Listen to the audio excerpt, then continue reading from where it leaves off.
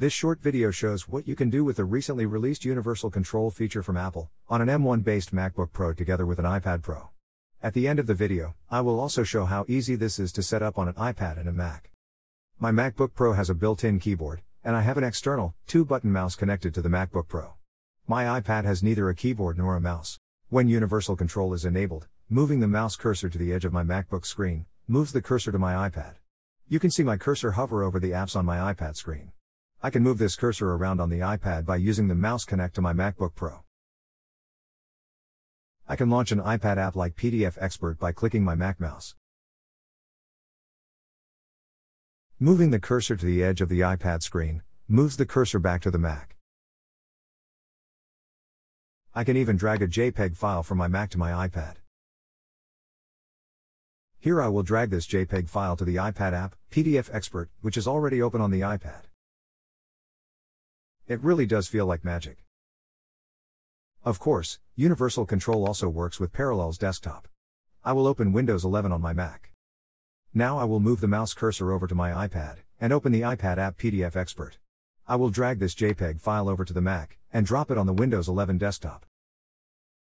I can open this JPEG with the Windows app, Paint. If I just need a portion of a document, I can do that too.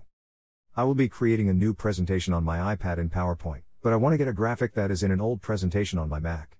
I open PowerPoint on the iPad, and then create a new blank presentation. Remember, that I am doing all these actions on my iPad, with the mouse connected to my Mac. I then move the cursor back to my Mac, open the presentation with the graphic I want, and then drag the graphic over to the iPad.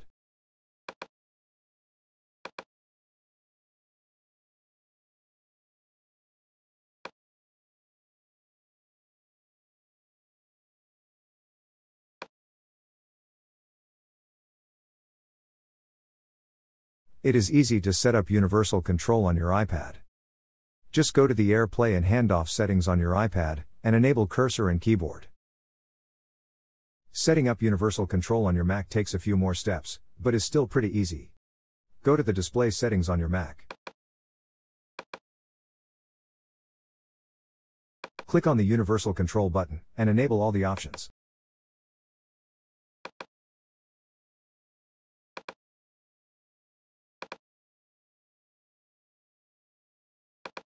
Then go to the Add Display menu at the bottom left of the window, and choose the iPad you just set up. You can then tell your Mac where the iPad is physically, on the right or on the left, lined up with the top of your Mac screen, the bottom, or somewhere in between. That's it. You have now set up universal control between your iPad and your Mac. I hope you have enjoyed watching this short video about universal control on the Mac. Thanks for watching.